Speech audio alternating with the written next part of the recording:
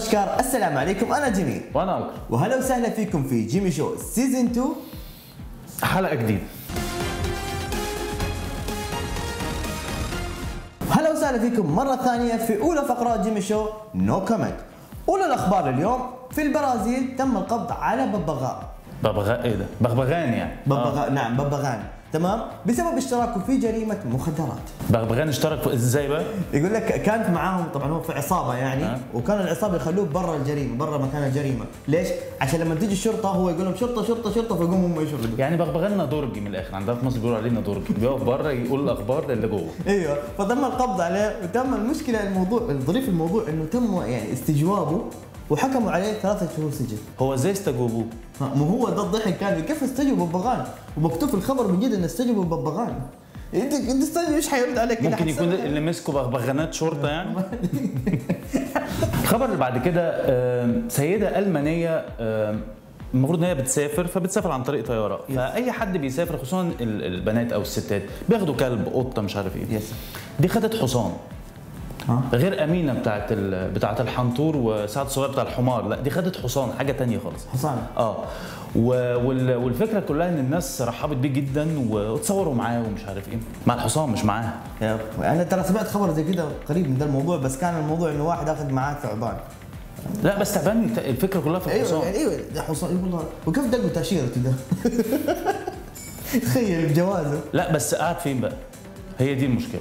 أنت- أيوه صح. شفت الصورة؟ متصور مع الطاقم الطيار تصور آه. معاه سيلفي. الخبر اللي بعده زوجة تضع زوجها على الإنترنت للبيع. حاطط جوزها؟ حطت زوجها للبيع. حطت مواصفاته شعره طويل وما إلى ذلك يعني. وسبب البيع كانت سوء سلوك الزوج. طب سوء سلوكه إزاي؟ مش فاهم. سوء سلوك يعني ممكن طويل في اللسان آه، غير آه، مرتب في طب كان عامل كام؟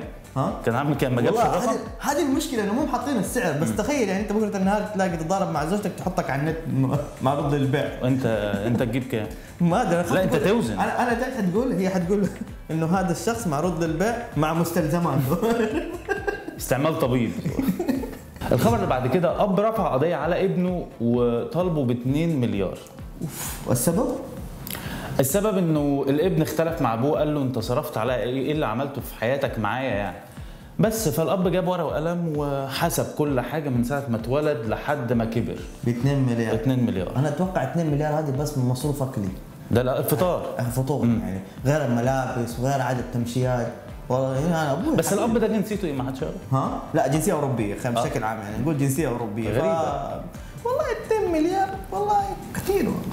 لا بس أنا بالنسبة لي 2 مليار كان ممكن في الدروس الخصوصية بس. بجد.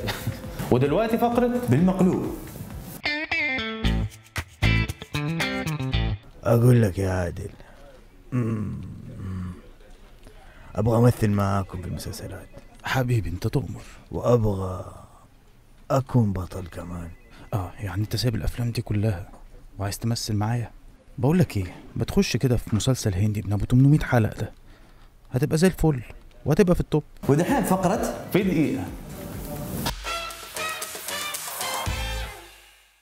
فيلمنا اليوم رومانسي درامي طب إيه علاقه البقرة. وهذا بطلنا وهذه البطلة اللي يطيح في حبها بطلنا وتبدأ ملاحقة الحب. لك شبك مصدوم ولا ما عم تعرف شو تقول. ألو أخي. ومهما كانت تعمل كان دايما عنده ابتسامة كأن شاب بيعاكس واحدة كده في أولى جامعة. وفي الأخير ضحكت. له بس ما تعرفش بتضحك له ولا بتضحك عليه؟ ودي كانت نظراته لما قال لها أحبك. أول يوم شفتك. عرفت شو معناته الحب لو كان جاي يقتلها كان هيبقى عامل إزاي؟ وبعد كده بيتجوزوا ودي نهاية أي فيلم هندي. لكن في فيلمنا دي كانت حمام؟ هنا بدأ الموضوع والمشكلة هي الحمام. وابتدى يشوف حلول. مرة يخليها. تعمل في بيت الجيران. ومرة في القطر. ومرة يسرق حمام متنقل. المشكلة كبيرة والقصة راحت لأحداث عمرك ما تتوقعها. وطلعت القضية مش قضية زوجين إنما قضية القرية كلها.